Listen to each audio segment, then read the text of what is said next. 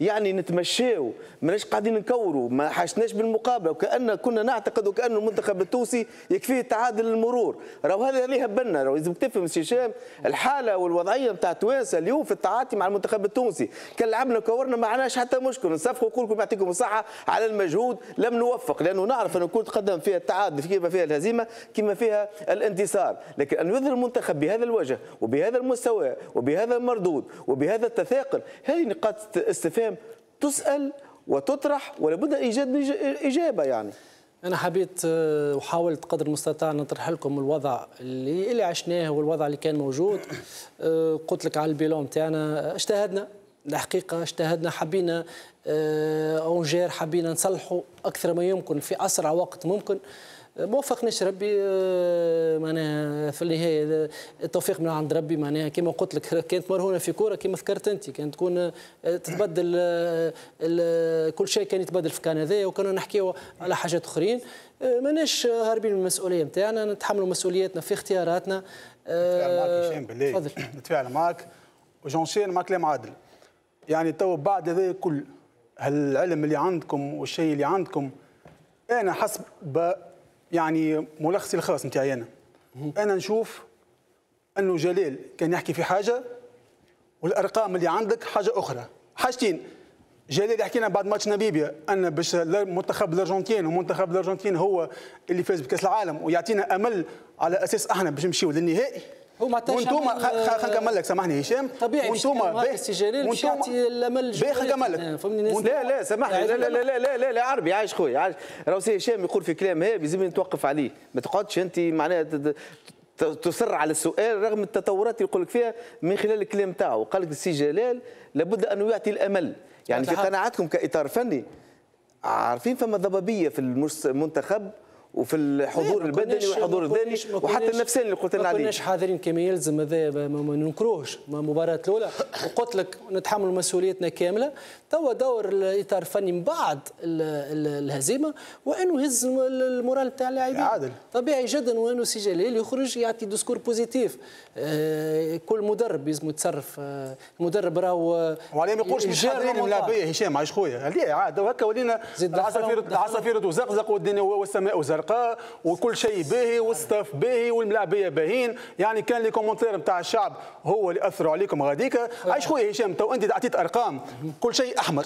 مشيتوا من ملاعبية 50% نتاعهم بالله رجعونا الأرقام خلي سي هشام يتفاعل معاهم وقت اللي باش باش يجاوب مع العرب. مشيتوا بملاعبية باهي هشام؟ بالأرقام نتفاعل معاك على حسب الكلام شنو أنت قاعد تقول وشنو جلال قاعد يقول. الارقام اللي عندك 50% من الملاعبية جاي من النوادي نتاعهم batterie faible faible ما ينجموش يتحركوا.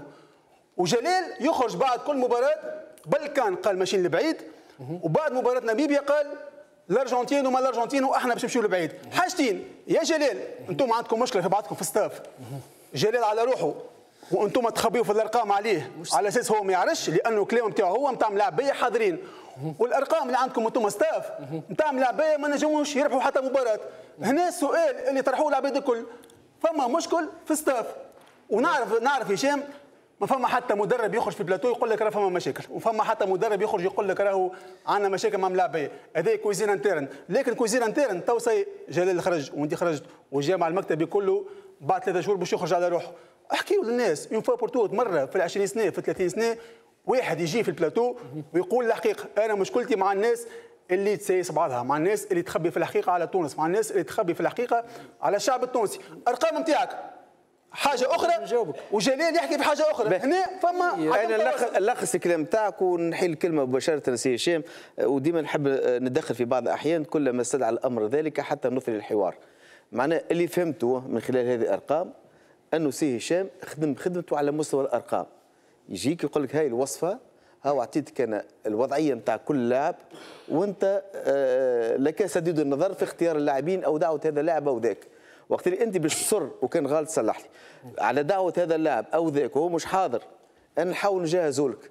سي هشام على ما يبدو على ما يبدو ما نعرفش يأكد ولا ينفي أخفق في تجهيزهم لجورجي بالشكل المطلوب. نظرا لغياب الجاهزية وغياب المباريات اللي لعبوها في سقهم لم يكن بالإمكان تقريبا أفضل مما كان لأنه الفترة كانت وجيزة جدا. أربع أيام ما تنجمش تقدم فيهم برشا. عشرة أيام ممكن. اللي إحنا اون با يو التون فهمت؟ آه، نويو كبير كما قال آه، إي سامحني سي هشام هنا شو كان البديل شو كان فما نقطة. لا لا ما- تحط أنت ك- أنت كإطار فني تحط بلون آ بلون بي اليوم تقول أربع أيام ما نجمش نجهز اللاعبين هذوما. ها هو البديل اللي عندي؟ شو كان عندكم بديل؟ البديل أول أول حاجة باش تتجه إلى لاعبين آخرين اللي هما ما كانوش موجودين وما عندناش الإمكانيات. تعرفوا إمكانيات تاع اللاعبين نتاعنا قلت لكم بكري طلعت لكم السؤال. قلت لكم معنا ستة لاعبين كان تبدلوهم. أعطوني أسماء أخرى ما ما لقيتش أسماء. آه ثاني حاجة آه خويا عربي إذا كان تحبني نختلق حكايات اللي فيهم مشاكل باش الناس والراي العام آه يرضاوا علينا ما فماش مشاكل. نعيشوا عائلة واحدة. ماناش غراب على بعضنا. علاقتنا كبيرة ياسر. علاقة المساعدين بالمدرب علاقة ممتازة جدا. لو عندنا يوميا عندنا صحابنا في يوميا. ليكي ناسيونال. كيما فري شوف عندنا سي صحابنا. في ليكي ناسيونال اعطيني اعطيني اعطيني وعندنا معلومات. كذبني وعندنا كذبني كل شيء. لا ما. كذبتكش أنا ما أعطيني المعلومات حاجة. إيه. نجم نسمعوا به. ما يسالش أعطيني خويا عربي. هذا كي نشوف به، ن- باش نطرحوا. كل شيء. خليني نتفاعل معك أعطيني آه، شنو اللي سمعت عندي سؤال وأنا توا من واجبي. أجواء- قاعد شرف. بشوية عاد، يبقى. أعطيني اللي سمعته، نوعد قاعد شرف نجاوبك. إنه ناكد لك ولا ننفي لك. اعطيني أعطيني حاجة أنت سمعتها. أبسط حاجة. فما مشكل بين جلال وسليم بن عاشور. دايور كان كامله سليم بن عاشور موقف حتى ما رعتوش. ما عندوش الحق سليم بن عاشور يرفع التوج الوحيد هو ما. يبدلوا يا أخي كيف؟ لا لا كيفاش؟ المساعد يا عربي يا عربي يا عربي. المساعد الثاني عربي. هو علي بومنيش ما نجمش أنا نقول لحظة لحظة. لا يا هشام فما. نقطه أخرى بربي سعادة. لا عربي خلينا. نتفاعل مع العربي زاده تفضل.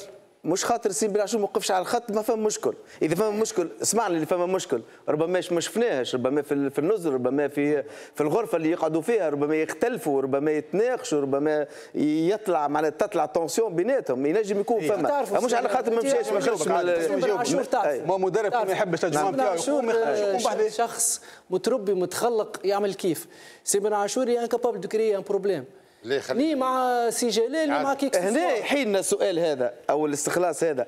مع كامل احتراماتنا لسي بن عاشور وعلي. بومنيجل وعلي بومنيجل لا وبقية وبقيه ال staff. اخلاقيا ما حكيتلكش على ال compétence نتاعي أي نحكي مش على ال compétence اخلاقيا اليوم. قلت لك اخلاقيا راهو سي بن عاشور حتى حد ما شك في أخلاقهم الكل. وكل وكل حتى سي جلال حتى سي طبعا سي جلال على الراس والعين ويعطيه الصحة وبارك الله فيه سي علي وإحنا سي من جانبنا أنا من كان لحظة. متواجد معنا سي شيخ. إضافة كبيرة. سي شيخ أخلاقهم حتى حد ما يشك فيها.